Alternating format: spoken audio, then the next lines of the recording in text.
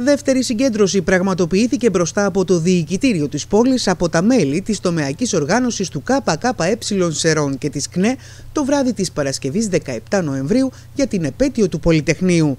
Μετά την ολοκλήρωση της ομιλίας, τα μέλη με πανό και συνθήματα έκαναν πορεία στους κεντρικούς δρόμους των Σερών και κατάθεση στεφάνων στο άγαλμα της Εθνικής Αντίστασης. Τα συνθήματα έξω ΙΠΑ, έξω το ΝΑΤΟ παραμένουν επίκαιρας στη πάλη μας ενάντια στη σφαγή του λαού της Παλαιστίνης από τον Ισραηλινό στρατό κατοχής με τη στήριξη των Αμερικανών, του ΝΑΤΟ και της Ευρωπαϊκής Ένωσης με την ενεργή εμπλοκή της χώρας μας. Αντί οποιοδήποτε άλλου χαιρετισμού θα σας διαβάσω την ανακοίνωση την οποία έβγαλε η Ομοσπονδία Ενώσεων Νοσοκομιακών Γιατρών Ελλάδας στην έκκληση των συναδέλφων μας από το νοσοκομείο της Αλ Σίφα για συμπαράσταση. Οι συνάδελφοί μας υγειονομικοί στη Γάζα, οι οποίοι εδώ και ένα μήνα δίνουν έναν ηρωικό και υπεράνθρωπο αγώνα, παραμένοντας στο πλευρό των ασθενών τους, κάνουν συνεχείς εκκλήσεις να σταματήσουν οι βομβαρδισμοί των νοσοκομείων. Οι εικόνες ξεπερνούν τους χειρότερους εφιάλτες. Μωρά στο πάτωμα στο μεγαλύτερο νοσοκομείο της Λωρίδας της Γάζας, Αλ Σίφα, με τις Ισραηλινές δυνάμεις κατοχής να έχουν εισβάλει μέσα σε αυτό.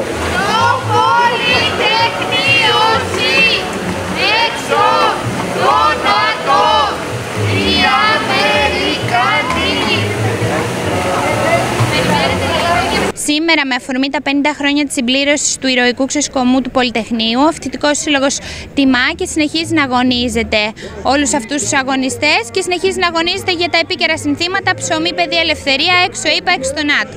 Σήμερα, σαν Κομμουνιστική Νεολαία Ελλάδος, στηρίζουμε τη συγκέντρωση που καλεί ο Φοιτητικός Σύλλογος ε, της Σχολής Μηχανικών του ΔΙΠΑΕ και Σωματεία και Φορείς της Πόλης των Σερών.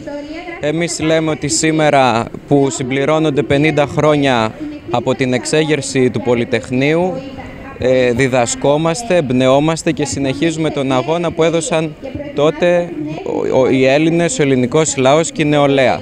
Θεωρούμε ότι τα μηνύματα και τα διδάγματα στο σήμερα είναι επίκαιρα για να παλέψουμε σαν νέοι, σαν εργαζόμενοι και σαν σέρεοι πολίτες εδώ που είμαστε και στην πόλη των Σερών για τα δικαιώματά μας που αφορούν ε, τι, τις τιμές στην ακρίβεια, τα δικαιώματά μας στην παιδεία, στην εκπαίδευση, αλλά και συνολικότερα να στείλουμε ένα αντιπολεμικό μήνυμα, αντιπερελιστικό και με την εμπλοκή της χώρας μας ε, στους πολέμους σήμερα και στην Ουκρανία, αλλά και τη στήριξη που δείχνει στο κράτος δολοφόνο του Ισραήλ. Οπότε η σημερινή μας συγκέντρωση έχει και ένα χαρακτήρο τέτοιο, αντιπολεμικό, αλληλεγγύη στο λαό της Παλαιστίνης.